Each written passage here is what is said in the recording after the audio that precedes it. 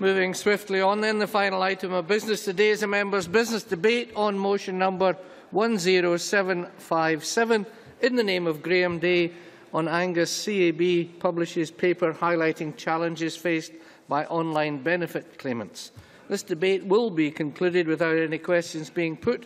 I'd invite those members who wish to speak in the debate to please press the request to speak buttons now or as soon as possible. And I call on Graeme Dey, already on his feet, to open the debate. Mr Dey, you have seven minutes, please. Thank you, Presiding Officer. Uh, Presiding Officer, can I begin by thanking those SNP colleagues and Labour MSPs whose support for the motion has allowed us this opportunity to consider the paper produced by the Social Policy Team of Angus Citizen Advice Bureau and the important issues highlighted within it. I also want to thank those members who have remained uh, behind to participate in the debate. Can I say at the outset that I'm seeking to highlight the content of the report, not as a means of attacking the, the general actions of the DWP or Westminster as such, but to draw the attention to the serious practical impact that the digital by default strategy is going to have on some of the people most reliant on accessing benefits. Angus CAB's paper, Digitally Enhanced or Digitally Disadvantaged, lays out very clearly the challenges presented by the UK Government's digital strategy and its expectation that 80% of benefit applications will be completed online by 2017. And it highlights the fact that not even the DWP believe this is achievable, given they've recognised that only 30% of benefit claimants would have no difficulty moving to an online application process. In other words, more than two-thirds of claimants will encounter varying degrees of difficulty, yet within three years the aim is to have 80% embracing this approach. Now, I think I'm reasonably computer savvy, though my kids and constituency office staff might disagree, but even I find myself checking, double, sometimes triple checking bookings or forms I've completed online. Imagine what it would be like for someone who isn't computer literate or techie confident and lifeline benefits are at stake. The DWP themselves have admitted that uh, those most likely to be claiming benefits, those on low income, those who are disabled or over 65, are in fact the very people who are very least likely to have access to the internet or indeed the ability to use it. And yet, this seems to have been disregarded in drawing up the new strategy. Now, of course, this in passing highlights a wider issue, a digital skills deficit which is spread all throughout Scotland. Only one-third of those on a low income in our country have broadband access compared to 56% of comparable households in the rest of the UK. But while the issue of the digital deficit is one that needs to be addressed and the disparity between not only Scotland and the rest of the UK but different areas of Scotland um, has to be dealt with, let's focus for now on the issue under discussion and the UK Government's anticipation that such a large majority of benefit applications will be made online whilst offering no new support to help facilitate this. Understandably, it's this lack of support which concerns Angus Citizens Advice Bureau. Just 35% of Angus CAB's clients believe that they would be able to apply online for these benefits, leaving a large group of people relying on the services such as the CAB provide or their friends or their family to help with applications. Now, from 2011-12, the CABs across Scotland helped clients to complete an average 75 old-style paper benefit forms a day. Now, that help may have been required due to technical and confusing language on the forms or issues such as struggling with reading or writing. These problems will still be there with an online application. For anyone who experiences trouble reading or writing, or for instance the deaf community where often they do not use the written English language, moving the application uh, process online won't fix any of these problems, it will simply exacerbate them. Not only will those who are already struggling to fill in long, complex forms require help uh, to do so, Uh, so too will those who do not have readily available internet access or indeed don't know how to use a computer. The digital by default strategy fails to make the application process easier for users. For the majority of claimants, it just makes it harder.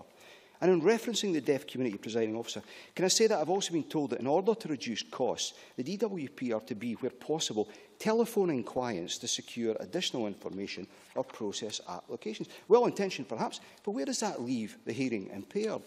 The actions of the DWP will undoubtedly pile pressure on local services, such as the CAB or libraries which offer internet access, as no further support or funding has been offered to help these services provide for the claimants, even though the UK Government recognises that they will need extra support. Of course, there is a move across society to have form filling done online, but it's about how you pursue that approach and how you cater for those who will fall through the cracks, surely. By way of example, Angus Council's preferred method of applying for housing benefit or council tax reductions is online.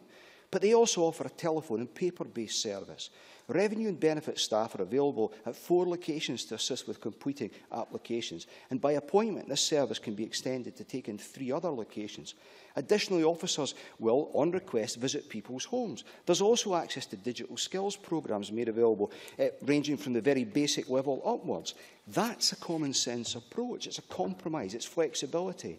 Angus CAB certainly believes itself to be under-resourced to meet the demand, which will undoubtedly arise by virtue of this strategy being pursued. Throughout the, the report, the CAB highlight previous cases which support this assertion, It appears that benefits claimants repeatedly are being punished for not having online access. For instance, two Angus CAB clients were sanctioned for not being able to access the job seekers allowance services, which have already moved online, even though both uh, clients were vulnerable and had no knowledge of how to use a computer, let alone apply for jobs online.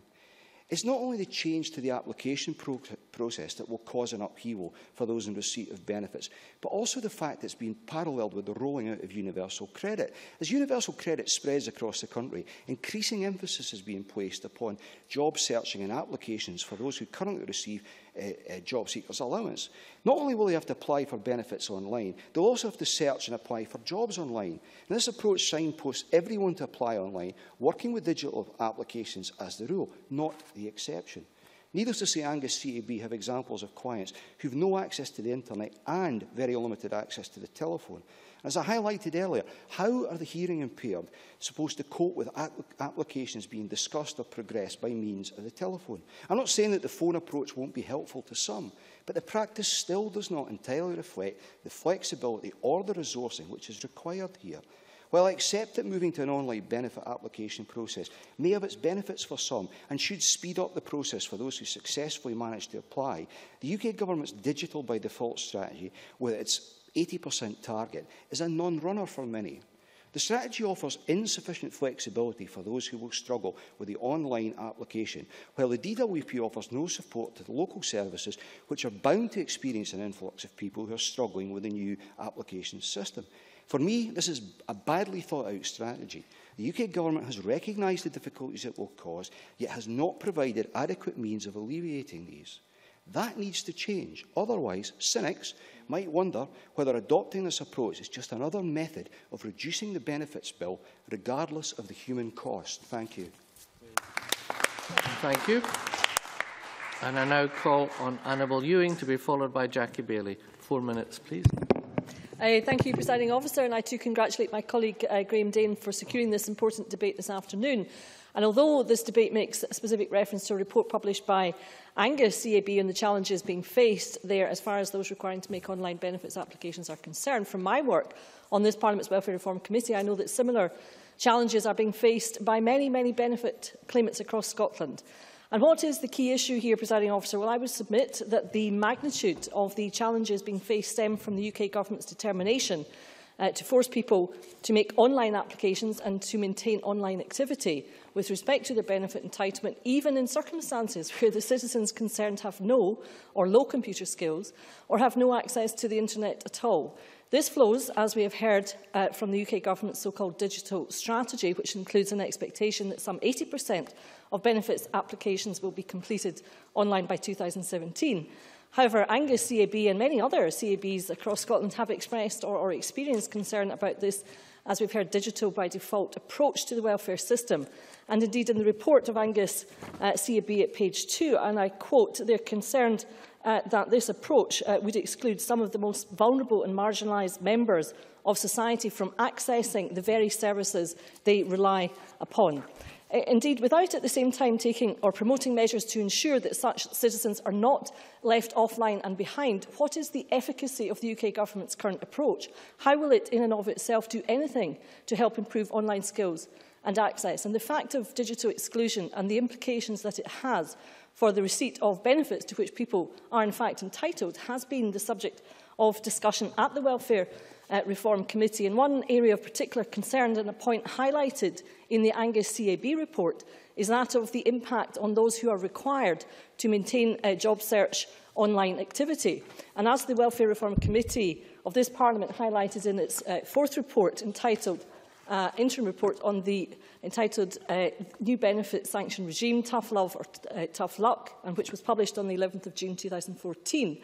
One of the weaknesses in the current sanction system was identified, and I quote from para 6 at page 2, as a failure to appreciate that many people on benefits do not have the necessary IT skills at day one to utilise the DWP's Universal Job Match facility or, or other IT uh, technology. This indeed was a point raised during the committee's inquiry, for example, by uh, One Parent Families Scotland, uh, uh, and I quote, they said, issues of digital access are being ignored so that sanctions are being applied to lone parents who don't have access to a PC, don't have broadband, or don't have the online skills required by Job Centre Plus to meet job search uh, requirements.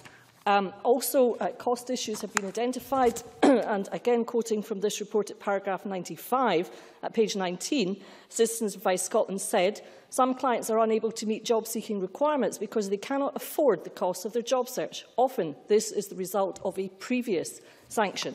So the question arises as to what support there is to be made available in order to move claimants online. And further to the uh, CAB report from Angus, uh, CAB, there is reference at page 5 to the DWP having advised that claimants should inter alia contact their local job centre to get help with claiming online or to get access to the internet. But, presiding officer, I have absolutely no confidence that that is happening in any significant way. And it therefore begs the question as to where is the safety net for these vulnerable people as far as the welfare system is concerned. In conclusion, presiding officer, surely it is time that the UK government had a rethink, not least in light of its own lamentable track record as far as the setting up and development of computer systems is concerned. Thank you, Presiding Officer. Thank you. and I now call on Jackie Bailey to be followed by Christine Graham. Presiding officer, can I start by congratulating Graeme Dey on securing this debate and for the content of his speech to the Chamber this evening. Um, whilst he may consider himself computer savvy and techie confident, new phrases I'm learning all the time, I merely note that by his own admission, the people closest to him might possibly disagree. Um, but let me also congratulate Angus CAB on producing their report, highlighting the challenges faced by online benefit claimants. We do live in an increasingly online world. We pay our bills online, we can get our shopping online, we can make travel arrangements online, but you know, it isn't for everybody, and we shouldn't lose talking to people face to face. Graeme Dey is absolutely right to point out the need for alternatives to just doing things online. Um, it is correct to say that the DWP expect people to increasingly make their claims online. Indeed, the UK government's digital strategy expects that 80% of all benefit claims will be made online by 2017, yet the rate of progress is extremely slow. For job seeker applica JSA applications alone, where they said they would reach 80% by September 2013, just last year, um, they woefully fell short of that target. It was 10% in March 2011, 19% um, in March 2012, a long way off from the target they set themselves. And there are a number of reasons for this. Firstly, even the DWP admit that their claimants are less likely to use the internet. 72% of disabled people are online compared to 85% of non-disabled. 59% of people over the age of 65 are online. That leaves a huge number that aren't. Access to online services can often be limited by income. Ofcom found that one in three households earning less than £17,500 had broadband. So if you're older, in poor health, have a lower income or less education, you're more likely to be offline And yet these are the very people who make the most use of government services and will need assistance. An approach that expects all of those who claim benefits are in, in search of employment to have the necessary IT skills will not only put them at risk of being sanctioned, as other members have described, but further marginalise them within their own communities. There is nothing being done by the UK government to actually help improve IT skills, just a closing down of alternative means of claiming. Now that will put extraordinary pressure on public and voluntary services to help people with claim forms. Citizens Advice Bureau dealt with 19,460 three benefit, I had to make sure I got that right, benefit form completions in 2011-12. That's likely to increase and CABs are not funded to meet that level of demand. It's equally a problem for local authority advice services because access to computers in libraries may be helpful, but there are challenges there. A lack of privacy, often a lack of support staff and short time limits on computers. Now, there are three local authority universal credit pilots in Western Berkshire, North Lanarkshire and Dumfries and Galloway. They're already raising significant misgivings. Councillors in these areas are already warning, and I quote, that online applications must not become the preferred method for accessing the benefit system, and alternative methods must not be made more difficult to force people to go digital. Another said, it takes around 90 minutes to complete an online JSA application form. People cannot fill out a 36-page form on a mobile phone, and many people don't want to upload very personal information on a public computer in a library. There is even a question as to whether the pilots will have had time to be properly evaluated by the time of the introduction of universal credit. The UK government cannot assume that people have the skills to access the internet or indeed the opportunity to do so. Simply asserting that benefit applications will be have to made online is just not good enough and fails to address the practical barriers faced by many benefit claimants. In coming to a close, presiding officer, It is a wrong-headed policy to try to push people to apply for benefits online. It fails to reflect the reality of people's lives and the impact that it will have on public and voluntary services. I thank Angus CAB again for drawing this to our attention and for Graeme Dey in bringing this debate to the Chamber. But ultimately, the UK Government need to change their approach to some of the most vulnerable in our society and help them to make claims rather than put artificial barriers in their way. Thank you. Now calling Christine Graham to be followed by Alex Johnson. Uh, thank you, Deputy Presiding Officer. I add my congratulations to Graham Day in securing this debate on a very important topic and indeed congratulate Angus Siabir and agree, Jackie Bailey, what you've said about this being a wrong-headed policy. Uh, At this time, when we see an assault on benefits claimants, indeed what to me amounts to a persecution of those who put themselves back on the referendum voters' roll, now hunted for even historic poll tax, who would want to be a benefits claimant today? Everything's made tough for you, complex forms, often to be completed, as others have said, by those least capable of completing them. And frankly, without the CAB and other advice centres, where would these claimants be? Recently, I confirmed that nearly a quarter of a million Scottish pensioners were claiming pension credit. And even then, one-third of those entitled were not claiming. And goodness knows how they were making ends meet. I checked today. Together with guidance notes, the, the pension credit form runs to 41 pages.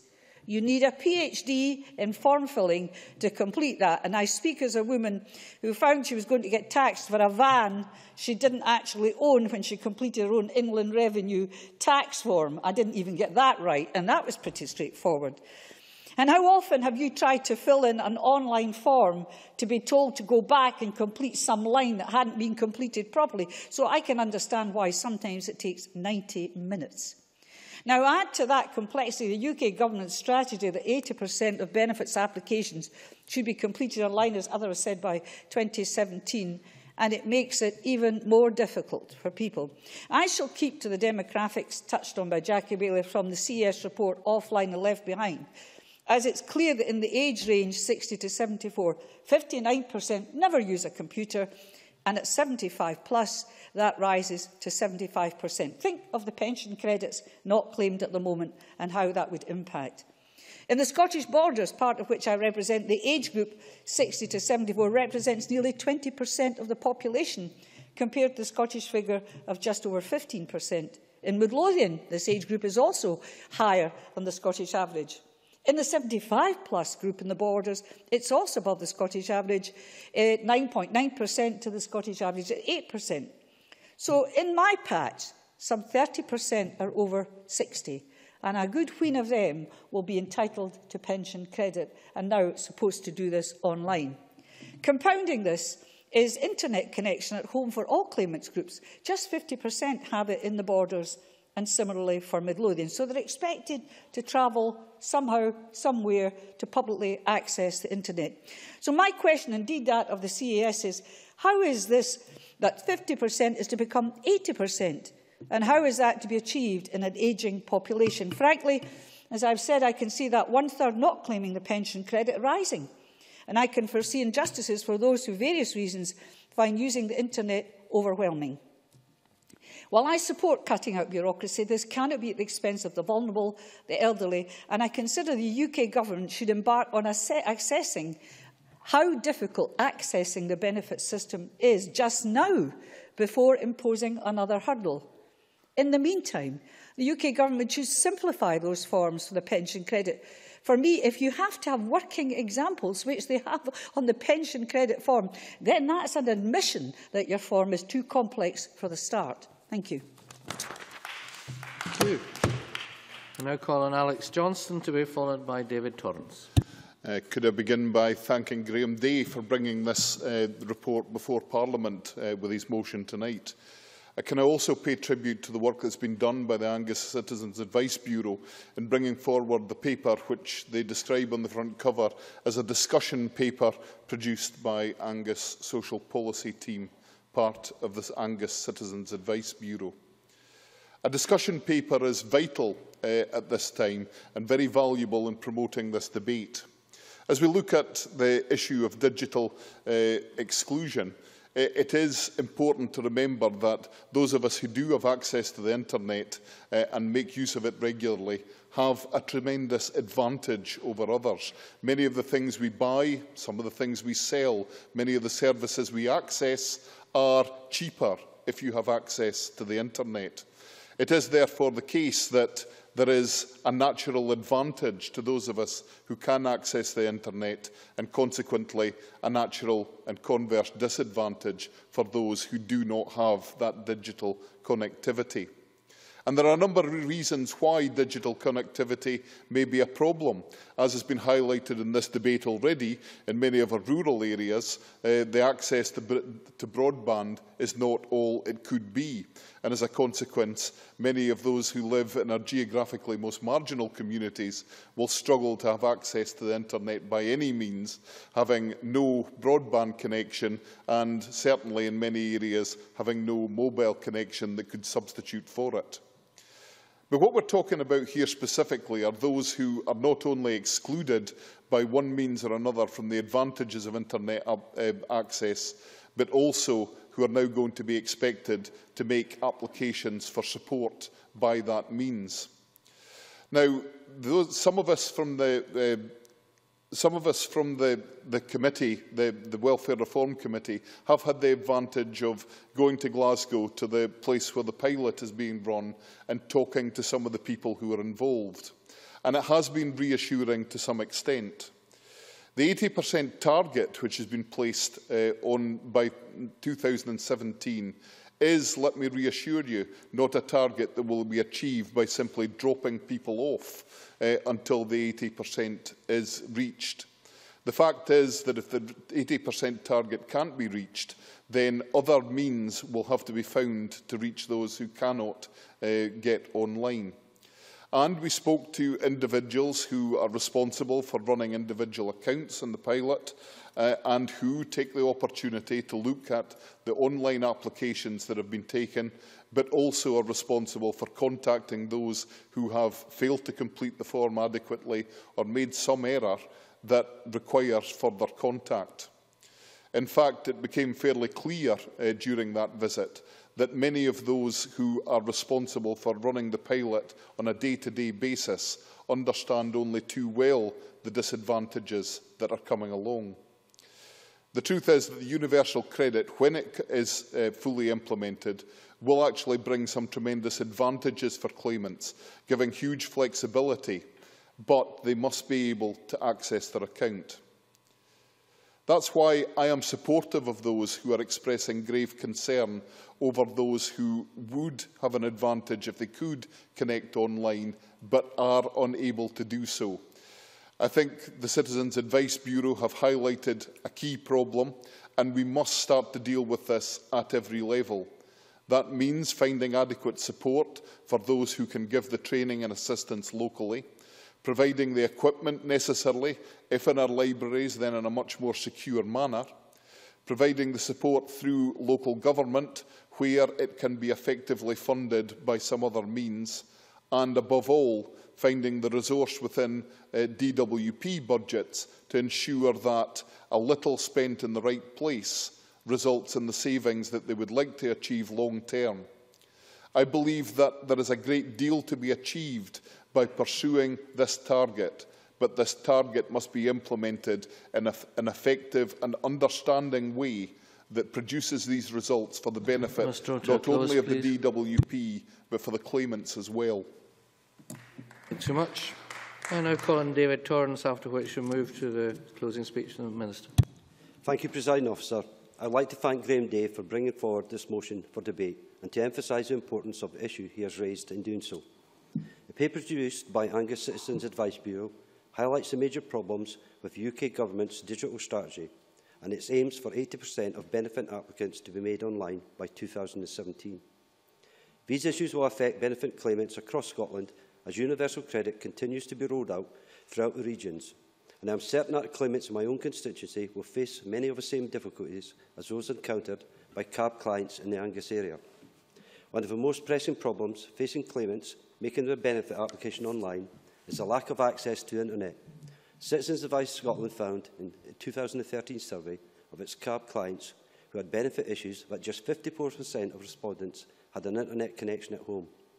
This suggests that almost half of the clients surveyed would have to seek alternative access to the internet in order to make their claim for benefit online.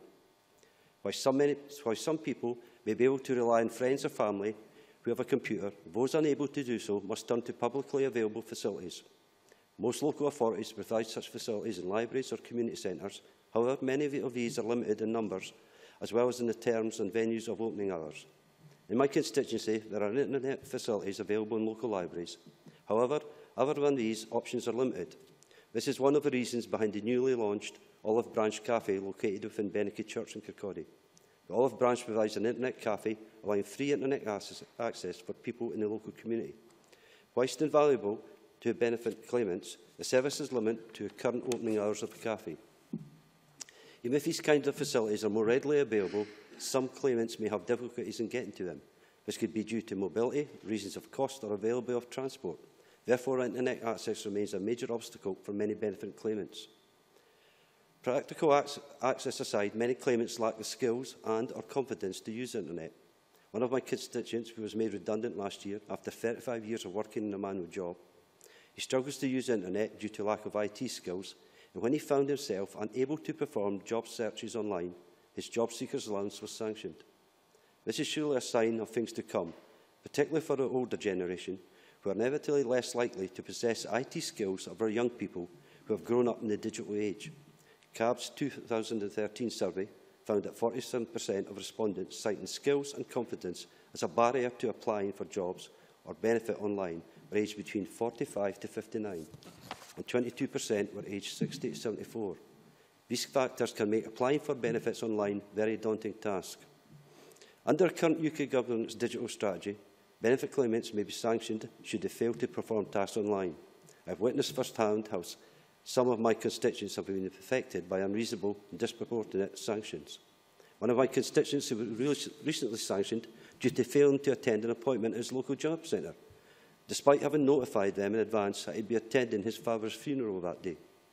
Although this sanction was reconsidered and later reversed, my constituent had to face a period of weeks in interim awaiting the outcome of his appeal with no income whatsoever.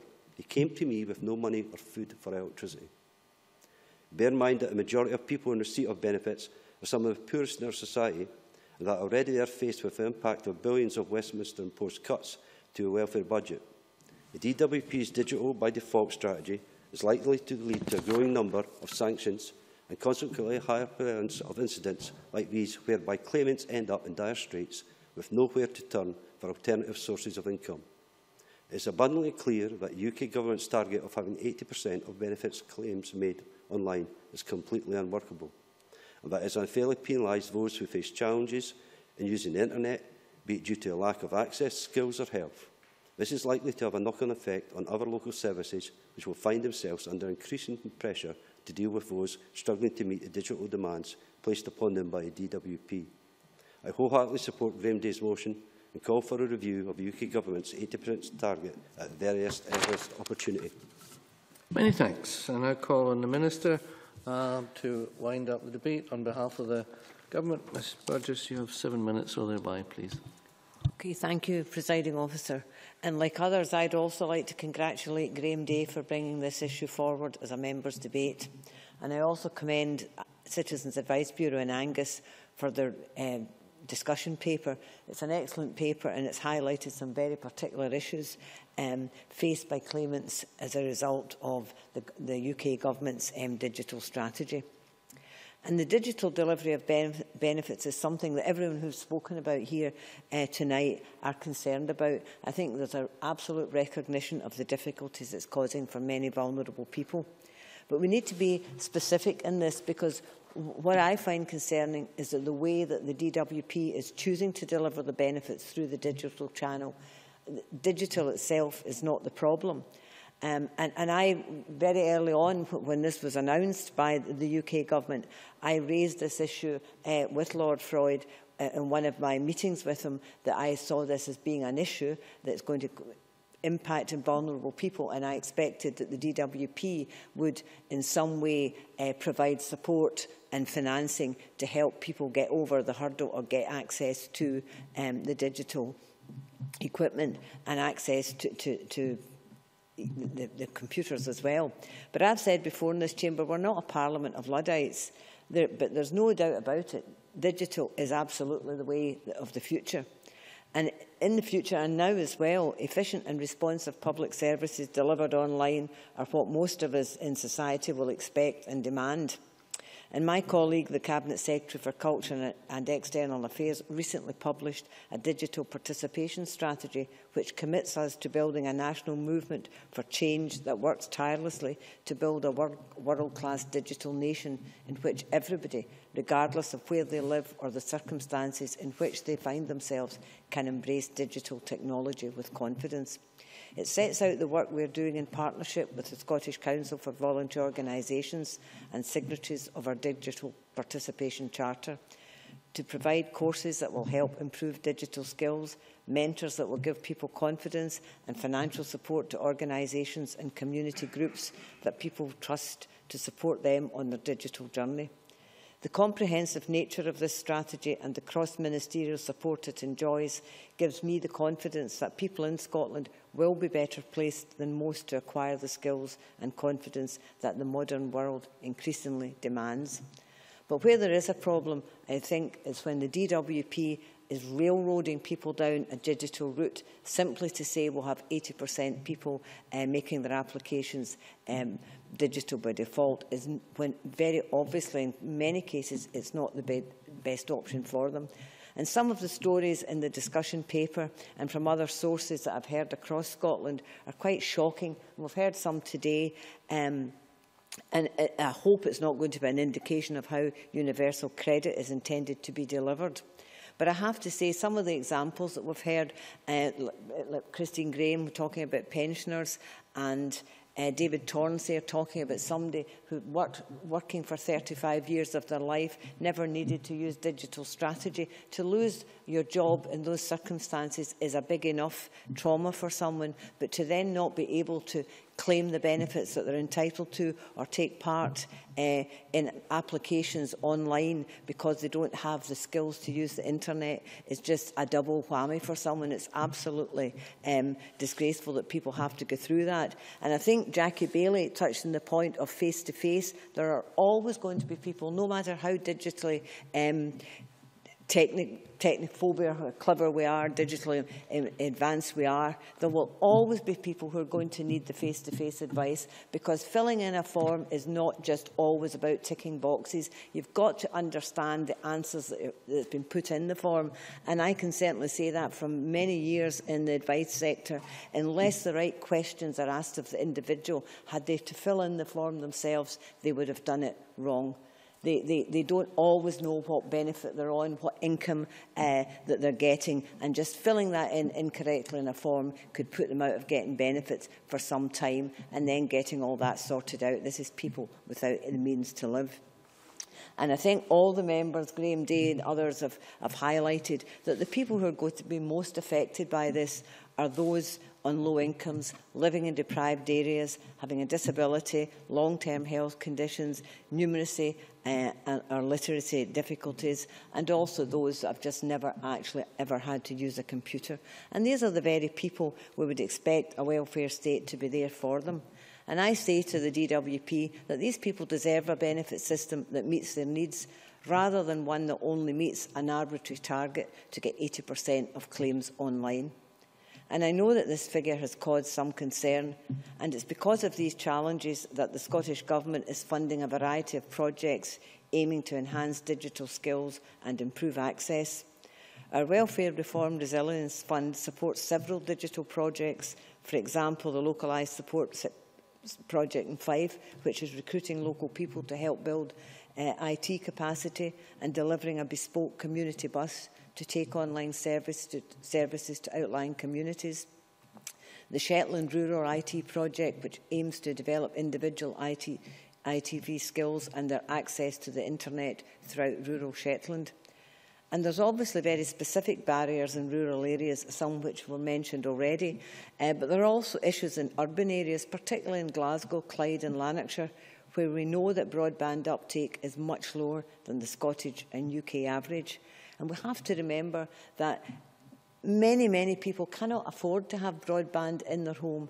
It is not, uh, it, for some people, we take it as something that's almost a necessity. For others, it's even more than a luxury. It's just something they can't even uh, contemplate having that, the money to spend on it. And Jackie Baillie mentioned that for many people, their only internet access is a mobile phone. And we all know nobody could apply for a benefit or fill in a form and a mobile phone. So that's why, in, in some way, we're funding the Glasgow Libraries project, £200,000 over a two-year period to promote local community-based access to computers, fitting new IT kit, making Wi-Fi available and providing relevant skills and development training. There are some signs, and many speakers have mentioned, that the DWP have now recognised that there will be challenges for many claimants and of the need that they require assistance to be provided to help them through transition to a new system. So we don't question that a digital delivery of public services, including benefits, is something for the 21st century. But what we do question and continue to raise with the DWP is the implementation of that service and the intent of the welfare reforms behind it. Many thanks. And I now close this meeting of Parliament. Thank you all.